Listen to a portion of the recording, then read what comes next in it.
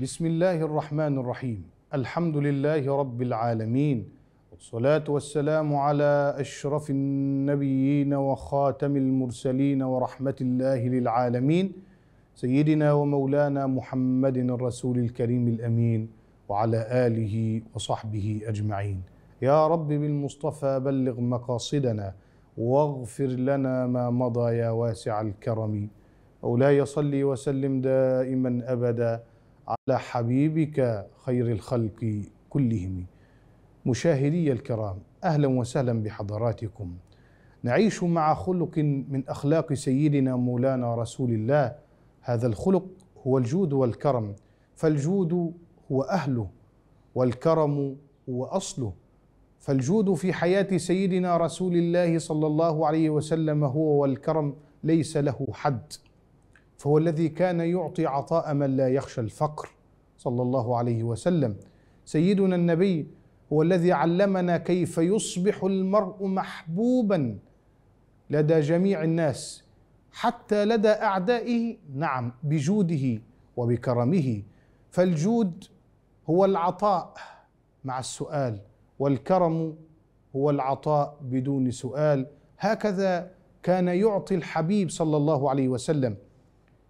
حبيبنا كما أخرج الشيخان البخاري ومسلم في صحيحيهما يأتيه رجل وهو بين جبلين يقول له يا رسول الله أعطني مما أعطاك الله. يسأله هذه الأغنام أعطني يا رسول الله. فنظر الحبيب صلى الله عليه وسلم إليه وقال له انظر إلى هذه الأغنام. فنظر إليها قال هي لك. فأخذها الرجل وذهب بها فأخذ ينادي في قومه يا قوم يا قوم أسلموا فإن محمدا يعطي عطاء من لا يخشى الفقر. هكذا كان حال سيدنا النبي صلى الله عليه وسلم.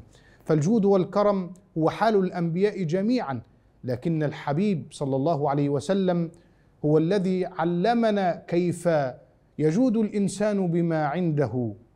سيدنا جابر يبين لنا ذلك فيقول ما سئل النبي صلى الله عليه وسلم كما أخرج الإمام مسلم ذلك عن شيء وقال لا سن النبي عليه الصلاة والسلام لم يسأله أحد عن شيء وقال لا بل كان يعطيه.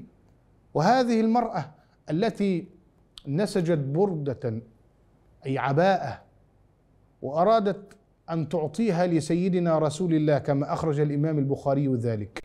فجاءت إلى حبيبنا وقالت له يا رسول الله هذه هدية لك. وكان سيدنا يعلمنا أنه يقبل الهدية ويرفض الصدقة. فالصدقة لا تجوز. فسيدنا النبي عليه الصلاة والسلام قبل هذه العباءة هذه البردة ووضعها على كتفه. وإذ بصحابي من صحابة سيدنا رسول الله يرى هذا المشهد يا ترى ماذا فعل؟ قال هذا الرجل يا رسول الله. قال له نعم لبيك. قال له أريد هذه البردة هذه العباءة.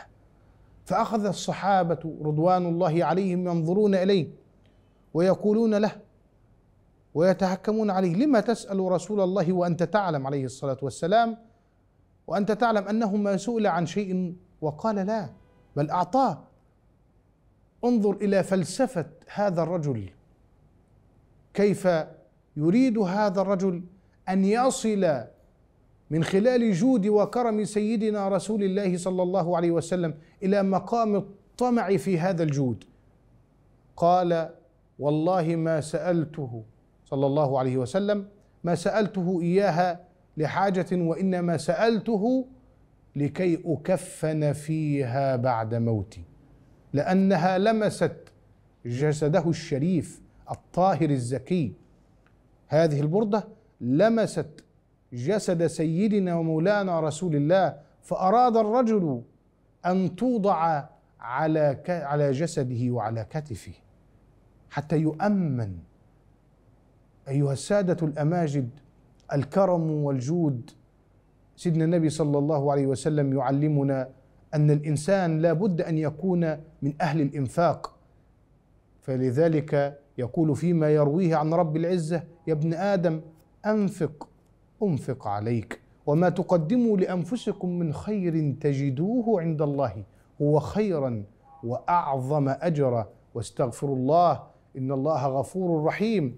أمنا عائشة رضي الله عنها وأرضاها الحصان الشريفة العفيفة الطاهرة الزكية النقية الصوامة القوامة الأواهة الصديقة بنت الصديق ذبحت شاه ذات يوم وقامت بتوذيعها فلما جاء النبي صلى الله عليه وسلم قال ما بقي منها؟ يا عائشة قالت له يا رسول الله لم يبق منها إلا كتفها. وهنا يصدر بيانه المحمدي العاجل في مسمع الزمان وعبر المكان فيقول الحبيب بل بقيت كلها غير كتفها.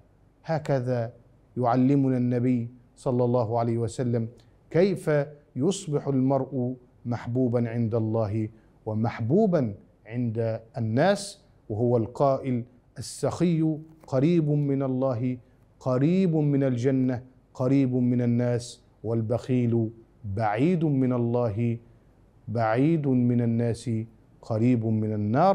نسأل الله سبحانه وتعالى أن يعلمنا من علوم سيدنا رسول الله وأن يفض علينا من أنوار سيدنا رسول الله وأن يجعلنا من أهل الجود والكرم كما أمرنا وكما بين لنا حبيبنا. وصلى الله وسلم وبارك على سيدنا ومولانا رسول الله وعلى آله وصحبه ومن والاه.